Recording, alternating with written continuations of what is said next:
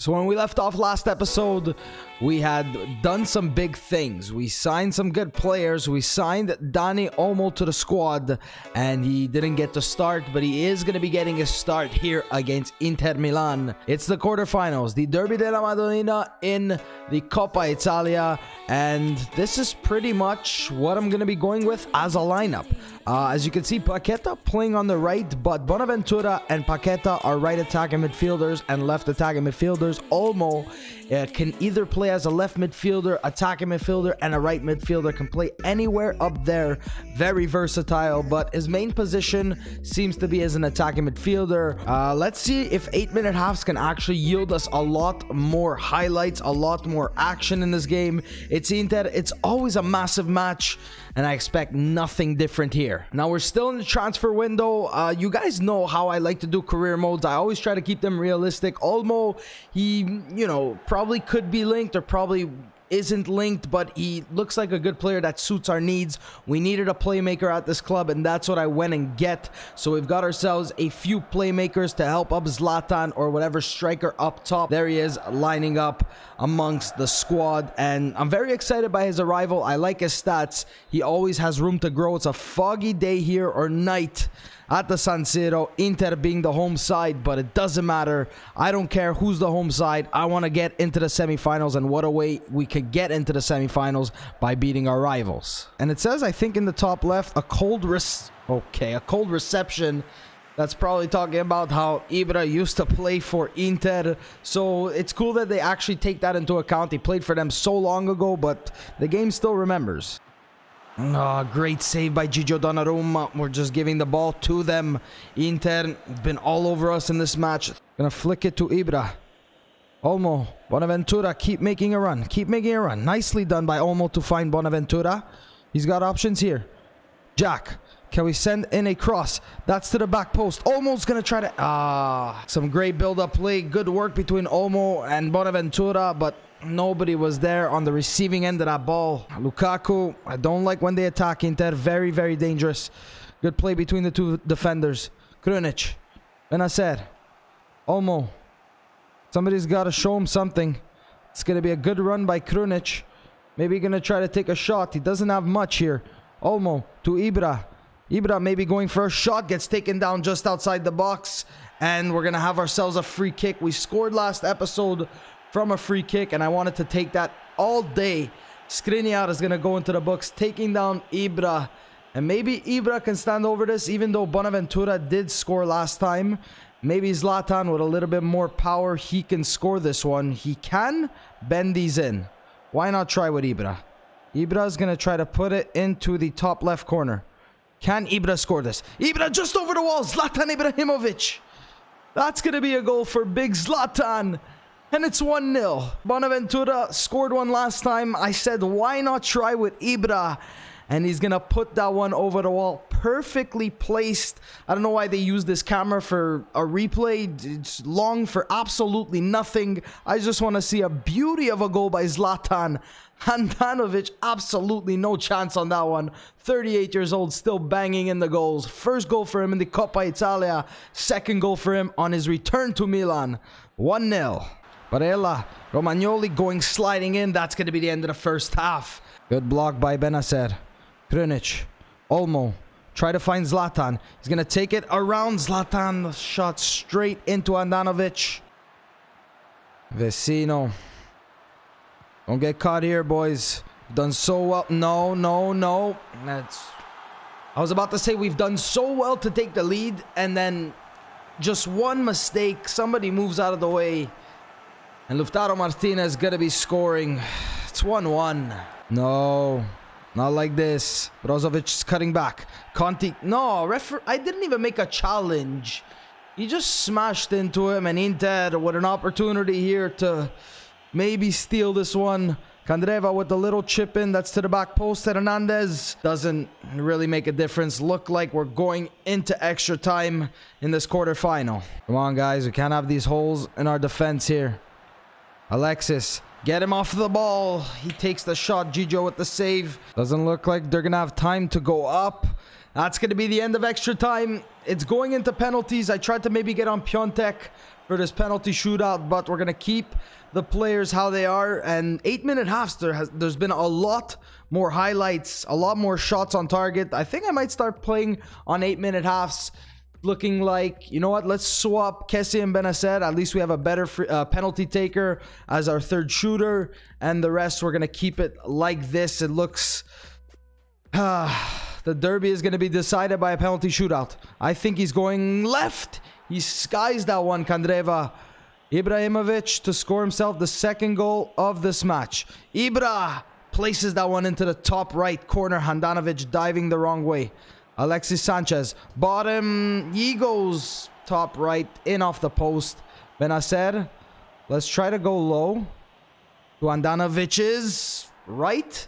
And he scores that one. Bennacer. Very nicely placed penalty. Lautaro. Let's go left. Gigio.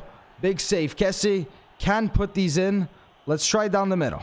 Let's try down the middle with a lot of power. Kessie hits it. Handanovic rooted to the spot. First save for him. Brozovic. Donnarumma dove the right way, but he missed the net. Bonaventura to send us into the semifinals where we await who we're going to be facing. Let's try to put it top right so he can't really reach it. Bonaventura sends us into the semifinals. Who else but him? That's a 3-1 victory on penalties. We win the derby.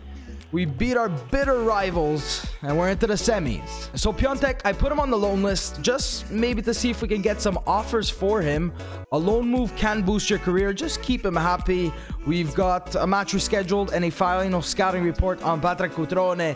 He's a player that I'd like to bring back. These are pretty much the players that I would like to sign. I didn't want to go crazy signing a bunch of players. I want to keep the squad basically how it was and a big signing in Olmo. So that's probably our last signing of the January transfer market.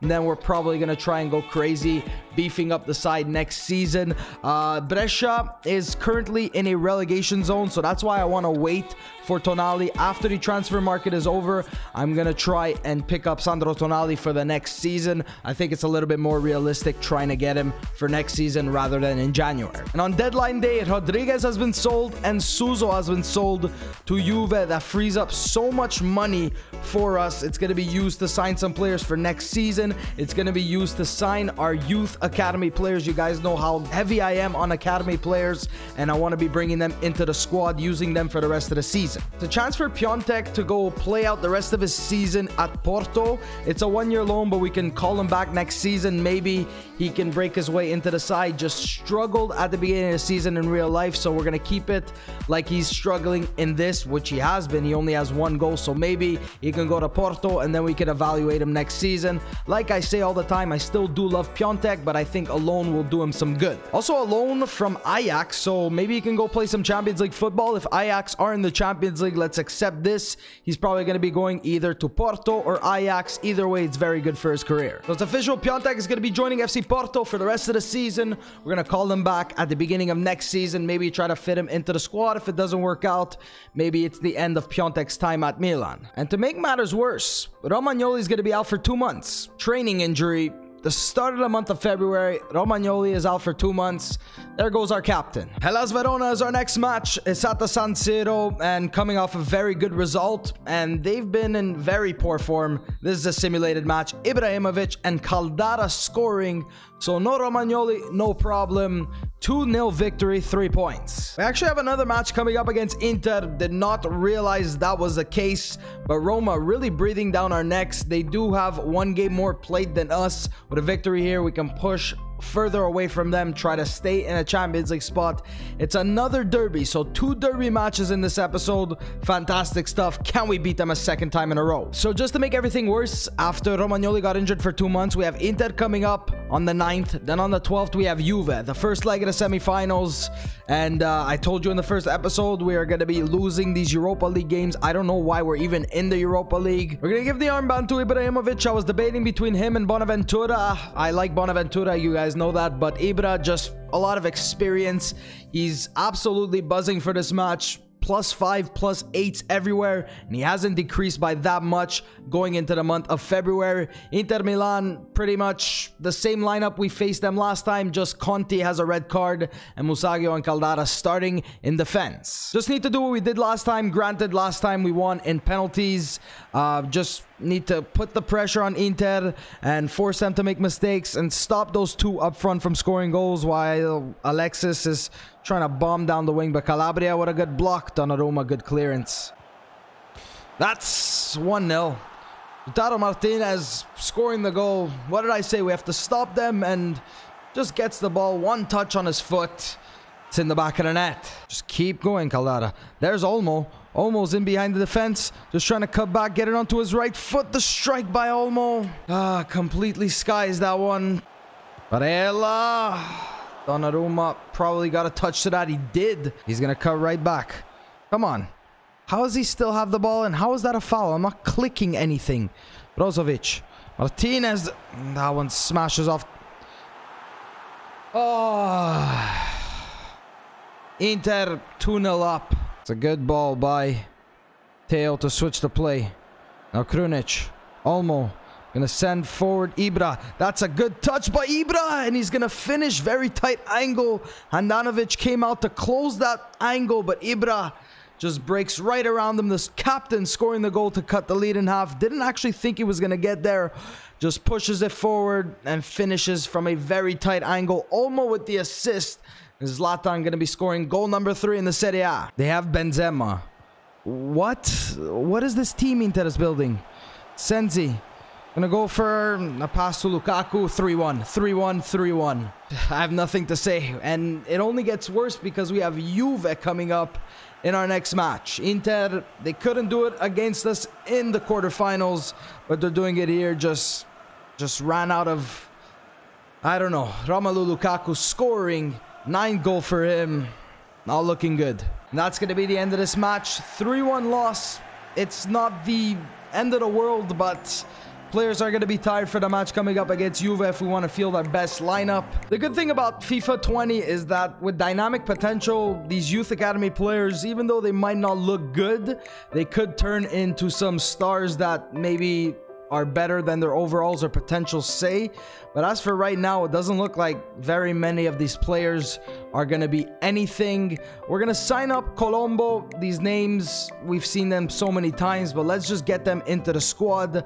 Uh, Costa looks like a decent player, but that overall is absolutely awful. So I don't even know. Let's sign up Casadei just because he can be almost 60 overall, and the rest of these players are going to get rejected. You know what? As far as Youth Academy players go, I'm really happy with this guy. Left wing, right midfielder, so he can play on either side. Three-star skills, three-star weak foot. We're going to start training him up, and maybe he can turn into something good. We're going to get him into the squad right away. That's what I like to do with these Youth Academy players, and see what he turns out to be. And just to end off this episode, we're going to be playing the first leg of the semifinals against Juve. If you guys do recall, we did sell Suso to Juve. We got the most most money we could out of him and hopefully it doesn't come back to bite us. A few of the players are tired after that 3-1 thrashing by Inter, but we beat them to get into this round and we're looking to go into the finals. It all starts with a victory here at the Allianz Stadium. Conti back in the lineup, Kessie starting instead of Krunic, just a little bit more fit. Let's see what we can do here. We're at the Allianz Stadium, what should be the Allianz Stadium, but they're not licensed. It was a hard-fought victory against Inter to make it here. There's our ex teammate Bonucci looking to win one over Juve. Uh, they signed Aubameyang. I don't know if Ronaldo is starting, but they do have Aubameyang. They do have Dybala. They do have a fantastic side. First in the Serie A, we're looking to stop their great run of form here. Good shot and a good save by Gigio Matuidi, putting a lot of power behind that one. Dybala, good block. No, Caldara, what are you doing? you need to have lightning quick reactions sometimes in this game. The ball just falls to it. Uh, right back to Dybala. They got a shot off. We need to get this away from Juve. They have been controlling it the entire match. That's going to be a shot. Good block by Bennacer. Can we start a counter attack? Jack is going to find Olmo. He's got three defenders to run at. He's trying to use his speed. That's going to be played to Bonaventura. He's in behind the defense. Bonaventura, keep going, Jack. Can he finish? Bonaventura, Szczesny looking big there. So many options, couldn't think of one. And that's what the end product was. That is whipped in. It's going to come out to Musacchio. You know what? Let's try to go for a shot with the defender. And Mandzukic is in the way and then takes down Aubameyang. Kessie gonna look for Paqueta. That's great stuff by Lucas Paqueta. He's in behind. Paqueta is going to take the shot. Gets the rebound. He's still on this one. Zlatan just outside. Uh, we're getting the opportunities. Oh, that's a lovely cross. That's... Oh my goodness. Juve, after we went up, couldn't score, just came back. Dybala with the ball in. And Pierre-Emerick Aubameyang scoring against his former club. Dybala the touchdown. And Aubameyang into the back of the net. 1-0 down. That's Aubameyang. Oh, he's going to chip Donnarumma. He's going to chip Donnarumma. Juve just looks like they're going to run away with this one. Aubameyang scoring. And that's 2-0. Maybe you should have just ended the episode after that 3-1 loss to Inter. But this is more or less what you guys see from Milan. It's as realistic as they come. Juve beating us 2-0. We still do have the second leg of the semifinals. Who knows what could happen then. Juve just a class above us and a class above every team in Serie A. Aubameyang scoring two goals five minutes between each other. And that's full time. We're in sixth place it's not the best positions we've been in, but at least we're in a Europa League spot. I didn't think Champions League was going to be that easy for us, especially with the quality of teams, but we need to start picking up victories. Even though we did win one against Hellas Verona, but we're going to have to start picking up a lot more victories. The games are going to get a little bit easier just a tough run of opponents Inter, Juve.